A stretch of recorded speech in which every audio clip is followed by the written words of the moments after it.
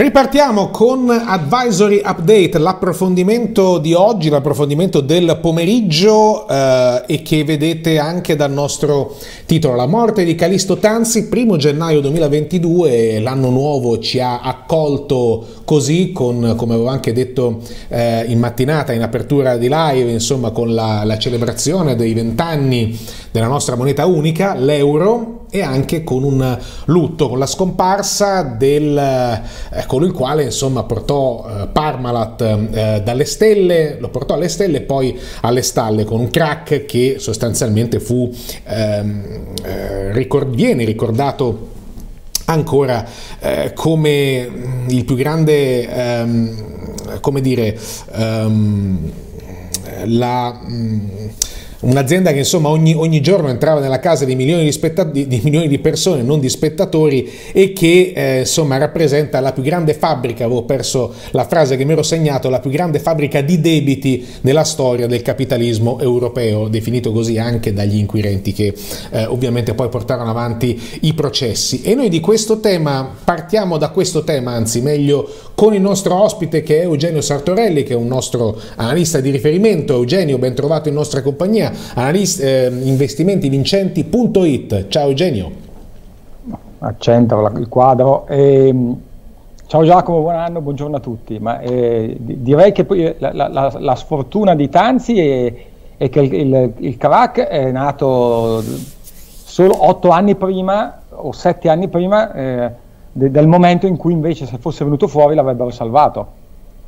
Purtroppo, purtroppo, nel 2003 ancora non c'era la stampatrice di denaro che era la banca centrale, e eh, se no li l'avrebbero salvato eh, tranquillamente. Lo avrebbero salvato e lui fece un po' di tutto per eh, diciamo, salvarsi. Ricordiamo che insomma eh, mm, l'azienda crebbe a vista d'occhio, ma basandosi sui debiti, attraverso i debiti e ripianava debiti, eh. creando ulteriori, ulteriori, debiti. E così una piccola azienda di Collecchio, un caseificio, che insomma poi ricordiamo che Tanzi, morto a 83 anni, ricoverato all'ospedale maggiore di Parma, eh, non per Covid ma per un'infezione polmonare, alcune intuizioni le ebbe eh, e furono anche quelle eh, diciamo riconosciute che le vediamo tuttora insomma nel nostro, nella nostra vita di tutti i giorni il Tetra Pak che scoprì in viaggio a Stoccolma e fu lui a importarlo in Italia e il processo ultra high temperature il latte UT o a lunga conservazione tu Eugenio lo bevi fresco o lo bevi a lunga conservazione? No, io uso spesso proprio quello che la Parmalat eh, lanciò proprio in quegli anni durante il fallimento, cioè il microfiltrato. Il microfiltrato. Il microfiltrato certo. perché è quasi, ha quasi la, la, la, il buon sapore del fresco, ma dura, ben, dura circa il, il, triplo dei giorni, dura circa 8-10 giorni. E quindi vale la pena perché diversamente non riesci a consumarlo in tempo o te, o te lo devi bere per forza. Ecco.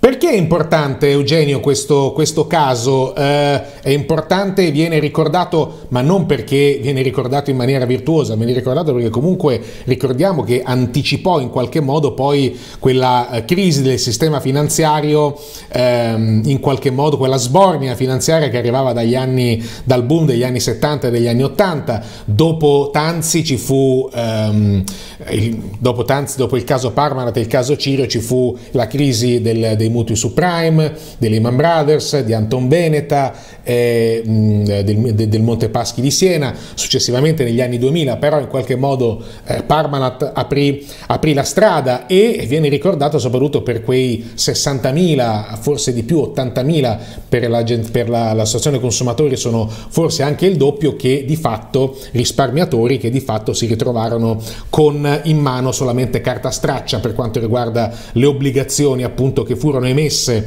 per la Parmalat anche da banche eh, importanti, da banche come JP Morgan, come, come Merrill Lynch, a conferma che era una crisi che evidentissima, come ha detto Eugenio, già, eh, che durava già da diversi decenni, ma che di fatto era sfuggito, mi permette di usare questa espressione, poi tu la correggerai, ai grandi eh, agenzie di rating, alle autorità di controllo, a tutti, alla stampa, a tutti quanti.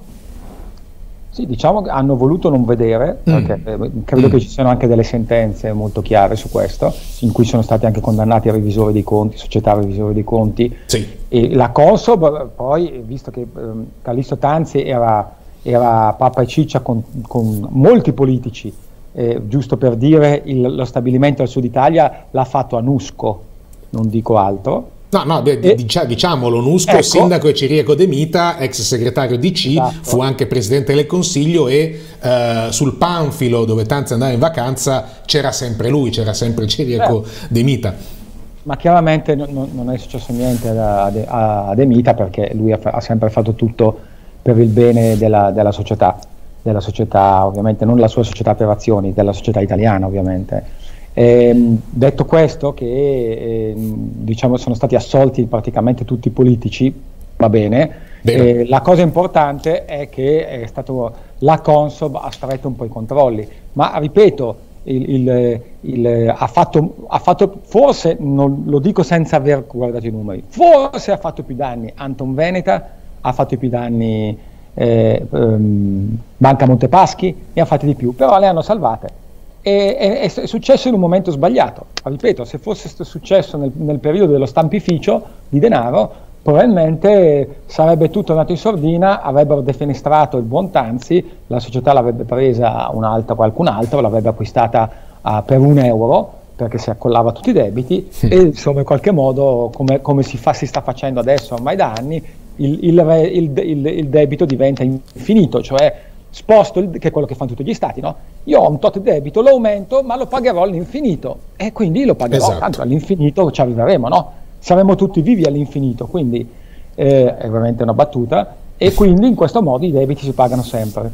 Ecco, eh, ricordo che quando si presta male il denaro si può buttarlo anche dalla finestra, e quando c'è tanto denaro si presta male. Se però quando c'è tanto denaro poi salvi quelli a cui lo presti male e si crea un meccanismo non virtuoso per cui chi dovrebbe prestare denaro bene e, dovrebbe, chi invece dovrebbe gestire il denaro prestato bene non lo fa più perché dice tanto mi salvano, ecco la situazione dei prossimi anni sarà questa sarà esattamente questa, perché in questo momento si sta dando denaro a destra e manca, giustamente, ma molto denaro viene dato a, a cose improduttive o addirittura negative o a, a cose che, che sono dei buchi neri.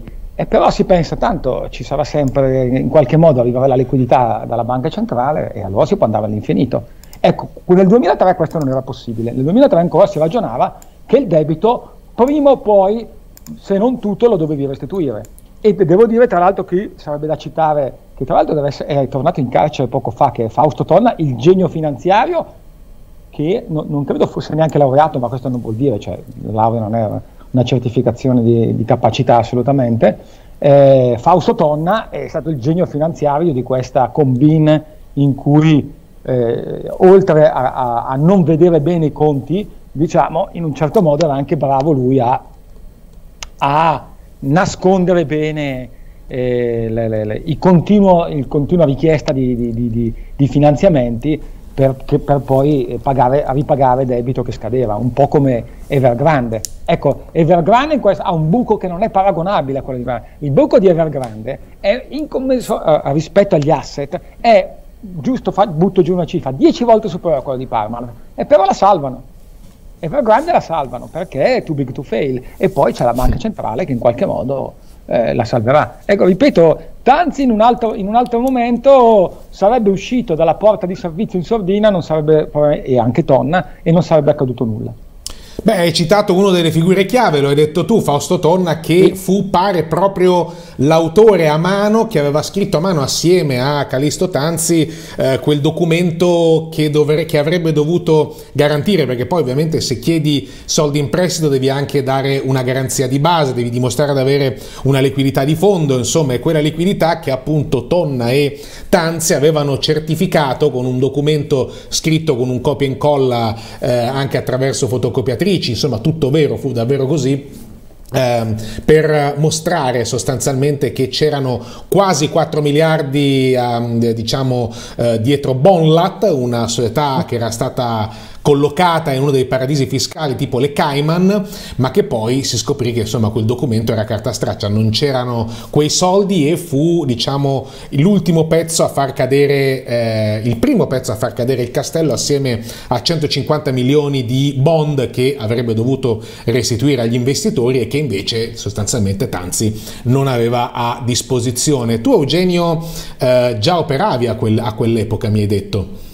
Assolutamente, io ehm, sono trader, mi considero trader professionista dal 1999, eh, do, dove, perché mi, da quell'anno mi considero trader professionista? Perché da quell'anno la, la, i miei introiti, oltre il 50% dei miei introiti de, de, derivavano dal trading. Ma ehm, quindi e le, e, e le, operazioni sulle opzioni le, per me le ho fatte nel, 2000, nel 1996. Io stavo nei borsini negli anni 92, 93, 94 andavo nei borsini delle banche, per chi sa cosa sono i borsini non sto a spiegarlo. Ma eh beh, Parma, altra epoca, altra sì, epoca. Altra epoca. Allora non c'era, eh, c'era, c'era il, um, il, televideo, cioè i dati li vedevi da televideo, certo. non, esisteva, cioè esisteva il computer ma non, non esisteva il World, Wide, il, il World Wide Web, o, o, meglio esisteva ma non esisteva come era a, attualmente. E qui andavi nei borsini e operavi lì, però nel 2003 già operavo in maniera con vari broker online e col, sul collasso di Parmalat eh, io ovviamente non, non, non, non, ho fatto analisi tecnica assolutamente, però ho acquistato Parmalat e l'acquistai che era intorno a 0,5, ci misi circa 2000 e qualcosa euro. L'acquistai perché mi giunse, mi giunse notizia da persona abbastanza affidabile che l'avrebbero salvata, cioè gli amici politici di Tanzi l'avrebbero salvata e quindi era facile che, che il titolo potesse perlomeno darmi quindi l'obiettivo era perdo il 100% ma guadagnavo più del 100%. Chiaro. Quindi ci stava come operazione. Un investimento eh. diciamo. Sì, un investimento sulla news, cioè su, su, sì. su, su delle news. Non, il grafico era deficitario, cioè era assolutamente da vendere o da shortare per chi poteva. Però importante dal punto di vista delle opzioni è un caso di cui ne parlo sempre. E la prima volta ne parlai poi a Borsa Italiana perché spesso tengo conferenze a Borsa Italiana. Perché chi acquista put sul, su Parmalat, perché si dice compra put, ti difendi dal rischio rovina, purtroppo non è così. Tu, la tua put vale fino a quando il titolo è quotato, ma fino a quando il titolo viene sospeso in maniera indefinita, la tua put non vale più niente, o meglio, vale quello che l'hai pagata, cioè non ti copre più, cioè fi, fino a che Parmalat quota fino a 0,0, 0,01, la tua put ha un valore enorme ovviamente. E se l'hai acquistata, se, se, se, se l'hai venduta è, è, una perdita enorme. Se però il titolo viene sospeso, non, non, c'è più il sottostante, quindi la put non vale più e quindi ti viene restituito il denaro che hai, con cui l'hai pagata, cioè se l'avevi pagata, che ne so, 100 euro, ti restituiscono 100 euro. Ecco, quindi lo ricordo a tutti, parlo sempre del caso Parma que- per questo. Una put non ti copre dal rischio rovina, una put ti, ti copre dal rischio discesa finché il titolo è quotato. Quando il titolo viene sospeso in maniera indefinita, purtroppo la put non, non ti copre più. Quindi ricordatevelo questo, è molto, è molto importante. Io non la feci non la feci la put, persi circa 2500 euro, ma ripeto, non ho rimpianti perché l'operazione era per avere un profitto ben superiore a 2500 euro.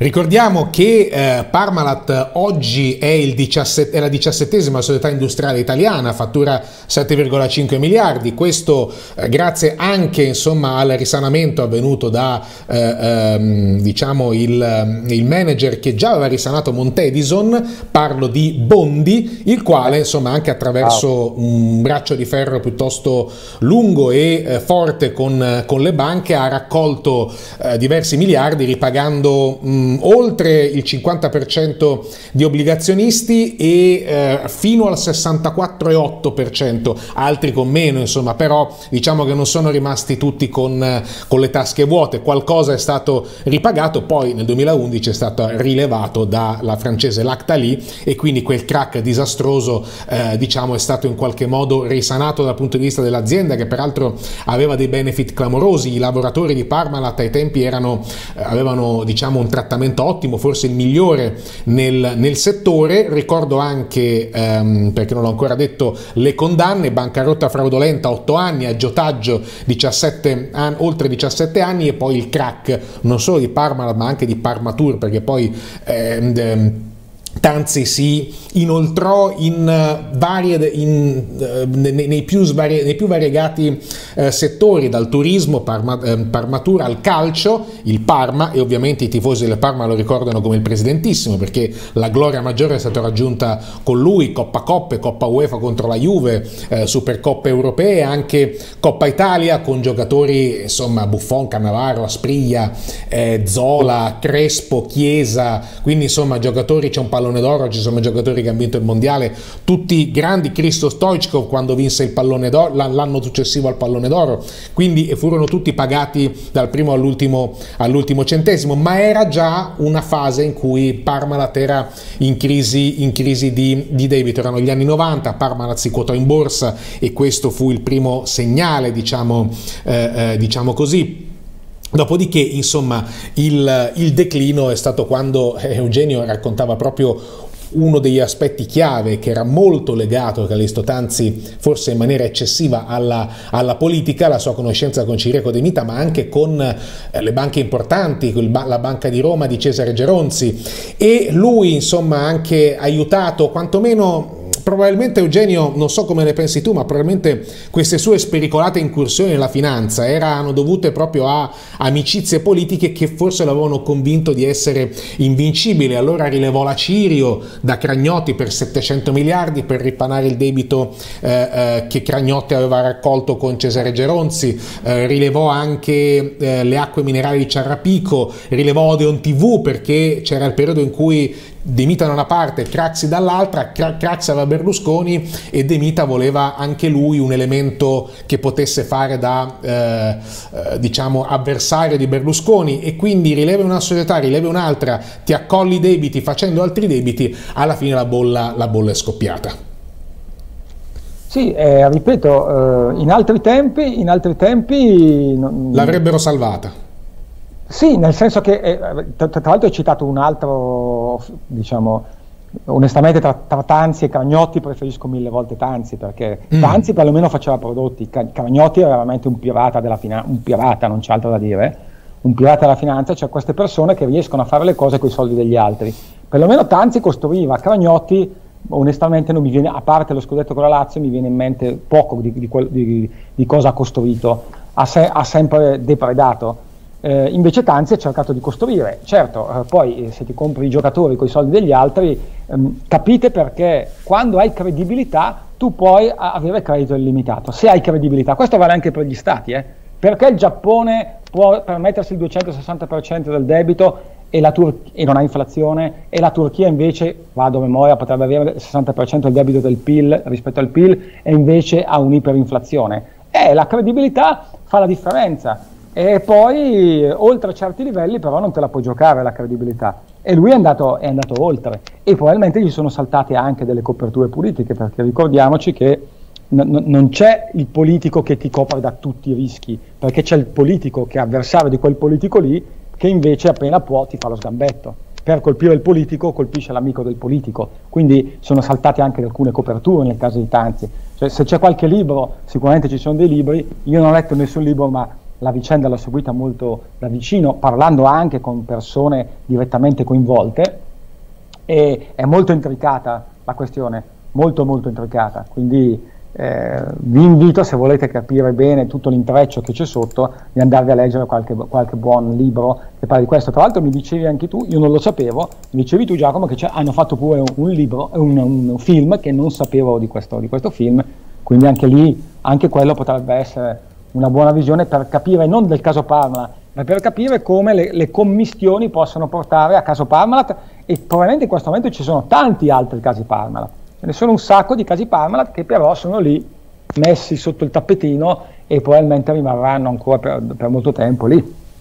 Il gioiellino è il film di cui parla Eugenio, eh. film del 2011, diretto da Andrea Molaioli, eh, protagonisti Tony Servillo, Remo Girone, Sara Felberbaum e Lino Guanciale, quindi insomma attori anche eh, conosciuti ed è un invito sicuramente a, a, a, guardarlo, non è un documentario, è un film ispirato, quindi l'azienda ha un altro nome, i nomi ah. sono diversi, però sostanzialmente è... Um, È un film che si ispira in maniera, che trae spunto dalla vicenda del crack Parmalat e che ha avuto anche alcune candidature per il Davide Donatello. E mentre Eugenio ci raccontava un po' insomma, della sua esperienza vi ho mostrato anche i titoli dei giornali, la truffa coi trasferelli e altre storie di Calisto che venne giù a Natale, in particolare come eh, sia proprio il periodo delle festività natalizie a mh, diciamo fotografare la sua, la sua ehm, decaduta perché era Natale sostanzialmente, eravamo il, intorno al 20 dicembre 2003 quando fu ufficializzato il crack Parmalat e invece eh, festività natalizia 2021-2022 abbiamo, abbiamo, salutato per l'ultima volta eh, eh, Calisto, Calisto, Tanzi, qui insomma il ritratto e questo è il fatto quotidiano ma come detto eh, un po' tutti quanti ne hanno, um, ne hanno parlato, questo è in titolo di Repubblica, l'imperatore del latte che conquistò l'Italia e finì per eh, tradirla poi ancora eh, vediamo se ne trovo altri, questo è sempre Repubblica, questo è sempre Repubblica, questo è il Fatto Quotidiano. E poi Crack Tanzi, il titolo della stampa, morto a 83 anni, l'imprenditore che fondò la Parmalat e finì, e finì per truffare migliaia di piccoli risparmiatori, doveva ancora scontare 18 anni, lui molto cattolico ha chiuso, insomma ha scontato gran parte della condanna nella sua villa e ehm, insomma ha, ha, chiuso sostanzialmente chiedendo scusa eh, al, diciamo, ai risparmiatori che che alla famiglia. Peraltro l'ultima diciamo, notizia da lui eh, è arrivata, l'ultima parabola, il 20 ottobre 2019, a Milano sono state battute all'asta per 12,5 milioni di euro 55 opere, tesoro che aveva nascosto prima del crack Picasso, Monet, Van Gogh, Kandinsky, Ligabue, Chagall. Il ricavato ha contribuito a rimborsare i creditori di quella eh, bancarotta.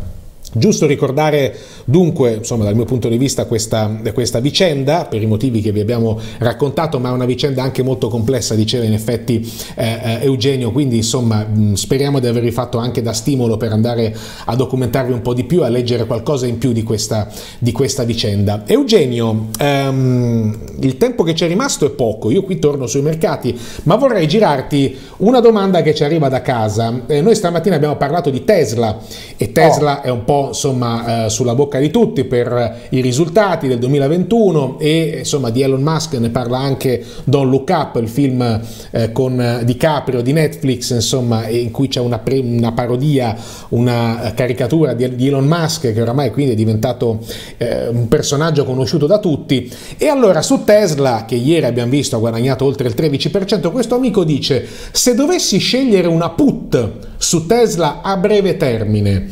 Consiglierebbe una scadenza settimanale, una scadenza mensile? Intendo, conclude il nostro amico, una long put a 1200 o 1400 o magari entrambe. Domanda abbastanza tecnica, te la senti di rispondere Eugenio? Sì, sì assolutamente perché io sono compratore a oltranza di put su Tesla, ma a oltranza, Perfetto. Ma, ma con una logica diversa, faccio mm. vedere il grafico. Vai. Cioè, vedendo un grafico così nel breve che corregga, dove si guadagna con la put? Si guadagna in due modi. Uno, col, col, col, grafico che va dalla parte opposta, ma non c'è niente che mi dica che possa succedere.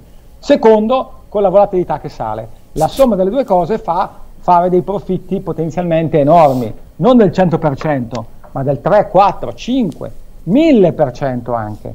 Però da questo grafico come, io non ho nessuna ipotesi di quando, come, perché possa accadere. Quindi nel breve io non me la sentirei. Posso solo dire che quando la Fed, se lo farà, incomincerà a ridurre l'immissione di denaro, cioè dopo marzo, è sicuramente tra i primi titoli che saranno meno comprati, io credo che saranno i soliti, eh, Apple, Google, Tesla, perché, eh, perché scuotano dei, dei, dei multipli che non hanno assolutamente senso.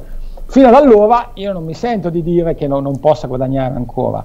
Aggiungo che se poi succedono altri eventi che possono essere negativi, non per Tesla ma per i mercati, potrebbe esserci una correzione molto più importante sul Nasdaq. Quindi io non me la sentirei di comprare un, una, un'opzione su scadenza breve, però se la dovessi prendere la prenderei su, su, su, su questi supporti intorno a 900. Io mi sono comprato delle put scadenza gennaio 2023 con strike 300 euro, 300 dollari.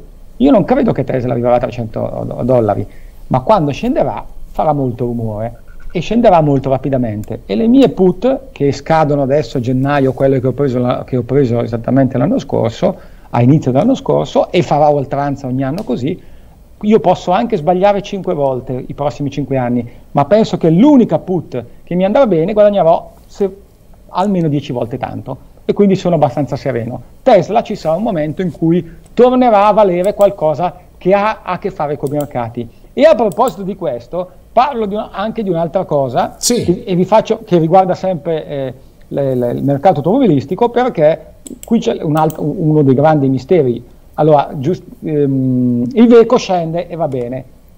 Stellantis continua a salire. Vi faccio vedere, qui intanto vediamo il, il mitico, vi faccio vedere Fausto Tonna, il genio della finanza, genio, cioè, dico, era veramente, cioè non era, era, era in gamba. Oh, perché sale Stellantis? Auto, più 5,5 in matricolazione in Italia nel 2021 e vai tutti a comprare Stellantis. Peccato che se ti vai a leggere questo, questo, articolo ti dice, eh sì, però ha fatto meno 27,5 rispetto a dicembre dell'anno scorso. Ripeto, meno 27,5. leggo testualmente le parole del Centro Studi Promoto. Il primo dato statistico sul 2021, quello sull'immatricolazione di auto, è purtroppo catastrofico. Lo ripeto, catastrofico. E giustamente Stellantis sale. Eh beh, comprate tema... le auto, eh, comprate, tutte, andranno tutte a comprare auto. Anzi, la cosa che mi stupisce, perché Stellantis sale visto che tutti comprano Tesla? Non è che per caso è, è, sta salendo Stellantis, e qui lo dico anche senza battuta perché potrebbe essere anche così a questo punto. Sì. Non è che magari Tesla si vuole comprare Stellantis? no, a questo spiegherebbe tutto. Mercato catastrofico del mercato auto, Stellantis che sale e, e allora sarà Tesla che lo sarà vuole comprare. Eh sì, perché poi dicembre 2000, rispetto a dicembre precedente si parla di dicembre 2020, che non è certo. un anno esatto. particolarmente positivo oh, per quanto ci siano stati gli incentivi, eccetera, eccetera, post-Covid. No, gli, analisti, gli analisti, mi dicono, eh ma poi quando arriveranno i microchip venderanno tanto. Sì, ma il bilancio di quest'anno farà schifo eh, di tutte le case automobilistiche, perché non riescono a consegnare auto perché hanno, non riescono, non ce la fanno, non hanno, non hanno, il materiale per consegnarlo. Vedremo dopo, vedremo dopo se consegneranno tutte queste, queste, auto. Tra l'altro, sempre in questo interessante articolo si parla del fatto che gli incentivi go- governativi, se ne parla proprio qui, l'URAI ribadisce il forte sconcerto per la decisione delle istituzioni di non assegnare nella legge di bilancio le risorse economiche per incentivare il mercato dell'auto. Quindi non c'è neanche da dire che il governo darà, regalerà soldi per comprare auto a destra manca ecologiche aiuterà, ma in maniera non così clamorosa. Quindi, togliendo Tesla, che eh, quota evidentemente i razzi che vanno sulla Luna, eh sì. eh, Stellantis, io rimango basito. Quindi e... delle due l'una, o Musk sta per comprare eh, Stellantis, eh sì. o Stellantis sta per creare una, un suo razzo per andare anche lui sulla Luna. Sì, probabilmente, fa, fa, o, fa, o, o, probabilmente Stellantis, potrebbe essere anche questo, potrebbe che Stellantis su licenza Tesla produrrà delle Tesla. Anche, anche perché no, alla fine... Così, perché veramente non, non, non, non, c'è cap- non c'è proprio logica. Cioè, qualsiasi fondamentale è disatteso su questo grafico de, di Stellantis, qualsiasi, perché vedrete il bilancio, ne esce fra poco, a fine, a fine gennaio uscirà il bilancio 2000, 2021, vedrete, vedrete che multiplici eh, quota con questo valore qua. Intendiamoci, eh, la, la, fusione tra i due, tra Peugeot e, e, e, Fiat, crea sicuramente dei vantaggi di circa 3 miliardi, 2, 2, 2, 2, 3 miliardi di euro l'anno, ma non giustifica un rialzo di questo tipo di fronte a vendite, ripeto, catastrofiche nel 2021, dopo un 2020 che è stato catastrofico.